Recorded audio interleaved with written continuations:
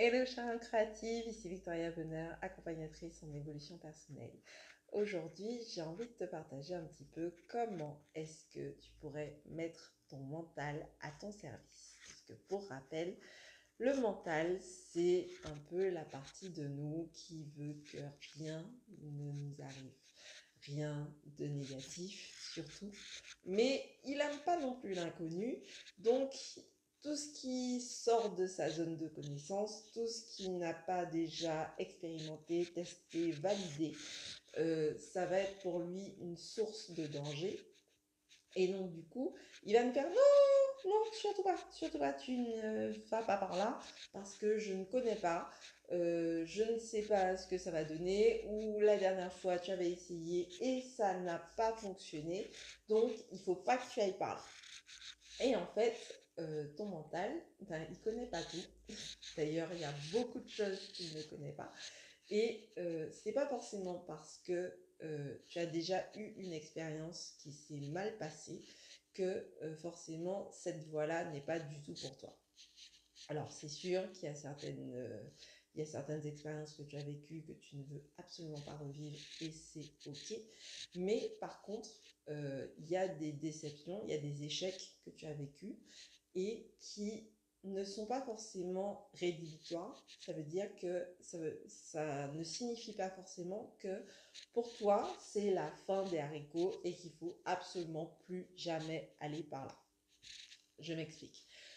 Les situations que tu as vécues, quel que soit euh, le degré de douleur que ça t'a occasionné, quel que soit l'inconfort que ça t'a occasionné, eh bien, tu as survécu à cette situation. Donc ça veut dire que quand bien même c'était un danger, ça n'a pas été mortel pour toi puisque tu es là à me regarder et j'en suis ravie.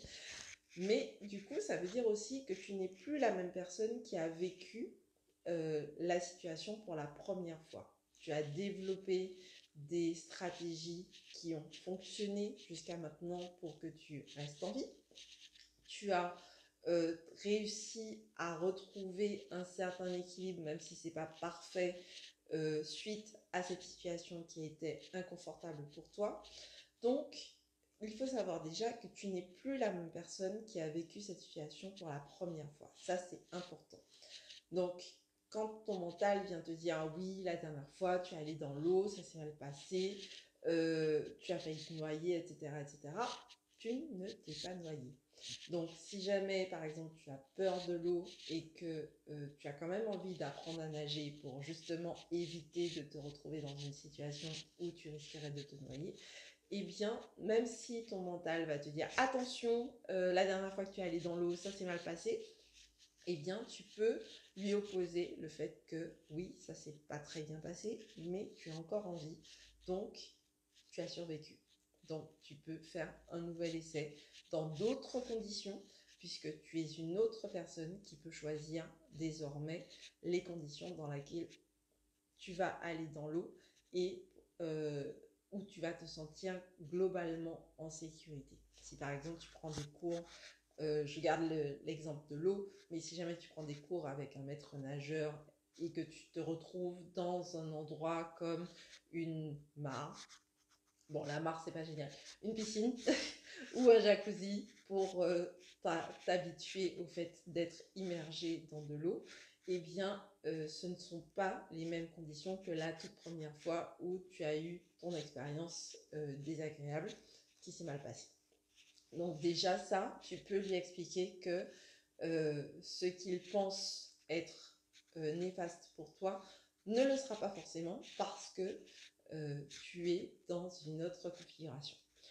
D'autre part, donc ça c'est la première chose pour ton mental. D'autre part, euh, tu peux le mettre à ton service, ce mental, puisque lui, ce qu'il veut, c'est te protéger. Donc, il a besoin de savoir que tu es en bonne, que tu es en sécurité, que tu te sens bien, etc., etc. Il est là un peu comme un parent protecteur. Sauf que, comme c'est toi est détenteur ou détentrice de ton arbitre, tu n'es pas obligé de euh, suivre tout ce que le mental te dit de faire. C'est toi qui décides ce que tu es de ta vie. Et tu peux aussi décider de donner une nouvelle fonction à ton mental. Je m'explique. Ton mental, il sera toujours là pour te protéger. Moi, quand j'ai voulu créer mon entreprise, mon, mental, il est en mode Ah non, surtout pas.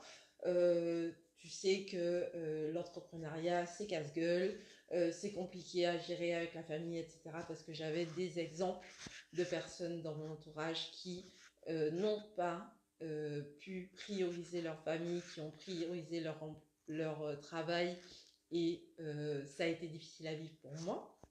Mais en fait, j'ai aussi le droit de redéfinir ma vision de l'entrepreneuriat. J'ai aussi le droit d'expérimenter l'entrepreneuriat à ma façon. Et c'est pas parce que les personnes que j'ai eues autour de moi m'ont donné un exemple qui ne m'a pas plu que ça veut dire forcément que si je m'engage sur la, la voie de l'entrepreneuriat, je vais faire comme ces personnes-là. Et j'ai aussi le droit de faire les choses à ma façon. Donc du coup, j'ai discuté avec mon mental et j'ai commencé par lui dire merci pour ce qu'il fait. Parce que euh, il veut tout ce qu'il veut, c'est mon bien. Mais c'est pas forcément la façon dont moi, je veux qu'il s'occupe de moi. Et donc, du coup, je lui ai donné une nouvelle fonction qui est de m'accompagner dans ma démarche. Ça veut dire que je suis pas en train de lui demander est-ce que je vais aller dans l'entrepreneuriat ou pas c'est déjà décidé, je vais dans l'entrepreneuriat. Et par contre, moi, ce que j'ai besoin, c'est que lui, il m'accompagne dans ce processus et donc du coup qu'il s'arrange pour me donner des indications quand je m'éloigne de ce qui est important pour moi. Donc du coup, je redéfinis sa fonction de protection. Il est toujours dans une fonction de protection, mais au lieu de me dire j'ai le droit d'y aller, j'ai pas le droit d'y aller. Lui, il va au contraire passer en mode garde du corps. Ok, tu veux aller par là. Et euh, dès que je m'écarte de ce que je veux, même si c'est sur cette voie-là, eh bien, lui, il a pour rôle de remettre les choses en axe, à me dire attention, Victo, tu es en train de t'éloigner de ce que tu veux. Tu veux passer du temps avec ta famille, tu veux pouvoir être aligné avec tes valeurs. Eh bien, tes valeurs, c'est ça, c'est ça, c'est ça.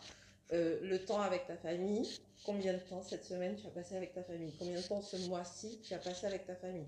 Si jamais tu n'en as pas passé suffisamment, attention, parce que ce n'est pas dans la ligne directrice que tu as définie. Eh bien, toi aussi, tu peux redéfinir le rôle de ton mental. La première chose à faire, c'est qu'il est important de le remercier pour tout ce qu'il fait pour toi jusqu'à maintenant. Le fait de remercier, ça évite la friction. C'est un peu comme si jamais tu le caresses dans le sens du poil pour lui dire c'est bien ce que tu as fait jusqu'à maintenant pour moi. Et je te remercie pour ça. Je reconnais ce que tu fais pour moi jusqu'à maintenant. Par contre, à partir de maintenant, je ne veux plus que tu fonctionnes comme ça. Dorénavant, tu vas fonctionner comme je te demande. Je décide, donc je te demande de fonctionner comme ceci, comme cela, avec moi, pour que je puisse atteindre mes objectifs et que tu ne sois plus un obstacle pour que moi, je puisse vivre la vie dont j'ai envie. Et ça, c'est important en fait, d'avoir ce dialogue intérieur avec son mental pour pouvoir redéfinir le rôle qu'il va, euh, comment dire, va occuper dans ta vie. Dans la méthode de l'aération précieuse, je parle d'établir les rôles de ses partenaires de vie et c'est important de redéfinir le rôle de son mental parce que ton mental il sera toujours là pour te protéger mais de la même façon que tes parents ne vont pas euh, venir euh, d'essuyer les fesses euh, alors que tu as 30 ans et que tu peux le faire toute seule ou tout seul, eh bien, tu vas redéfinir, entre guillemets, le rôle de ton mental. La, la, relation avec tes parents, elle a évolué tout au long de ta vie. Ils sont là, ils sont, ils sont là pour s'occuper de toi, ils sont là pour s'inquiéter, pour savoir si jamais tu vas bien, etc. Que tu aies deux ans, que tu en aies 35, que tu en aies 75, si jamais tu as la chance d'avoir encore tes parents en vie, eh bien, le mental, c'est la même chose. C'est la part de toi qui veut que euh, tu te sentes bien et que tu te sentes en sécurité. Par contre, eh bien, il va pas euh, fonctionner de la même façon tout au long de ta vie. Et c'est à toi de pouvoir lui dire, là, tu sors de euh, ta zone d'exercice. De, là, ce n'est pas ce que je veux que tu fasses. Donc, comme ce n'est pas ce que je veux que tu fasses, on va pas s'arrêter juste à dire c'est pas ça que je veux que tu fasses et dorénavant tu fais plus rien.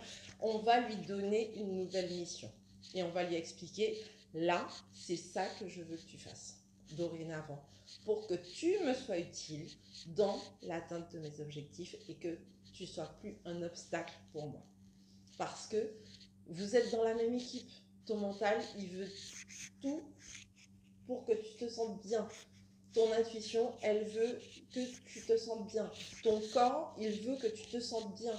Donc, tous ensemble, vous êtes de la même équipe. Donc, c'est important en fait que toi, en exerçant ton libre arbitre, tu puisses justement faire la cohésion entre toutes ces parties de toi et que vous puissiez justement aller vers le sens que tu veux.